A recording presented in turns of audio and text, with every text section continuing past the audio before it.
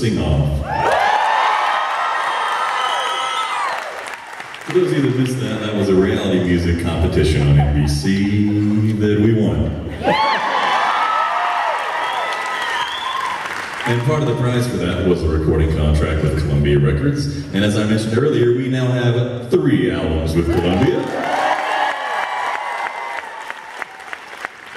And we are so very proud to say that all three of those albums debuted on the Billboard charts, y'all.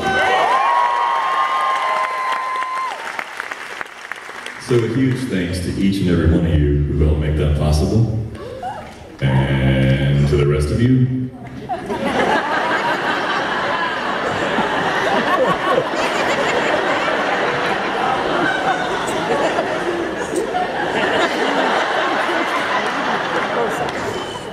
what the hell? Luckily we brought a few copies along with us. Uh, I should mention though that last night we were in Ohio, so we are all out of eight track. Oh.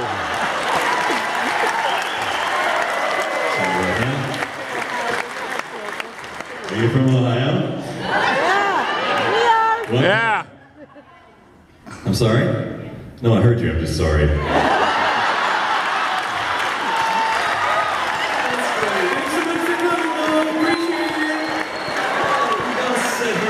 O-H-I-O.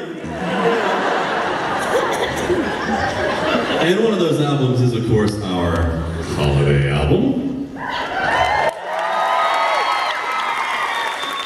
And that last song that we just did is on there. Uh, when we were getting ready to record, the guys said, Tim, do you have any holiday originals? And I said, kinda.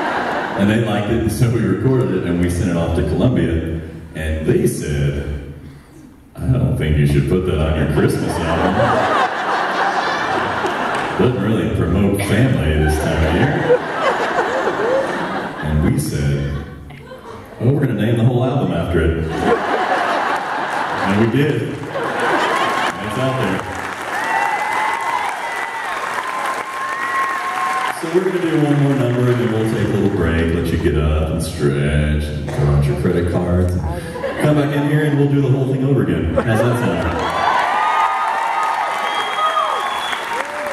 Since this is our Christmas show, I think it's appropriate that we close out this first set with a message of love.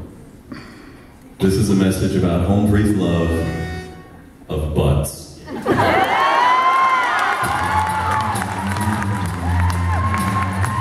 We're shooting baseball, throwing darts at the wall, feeling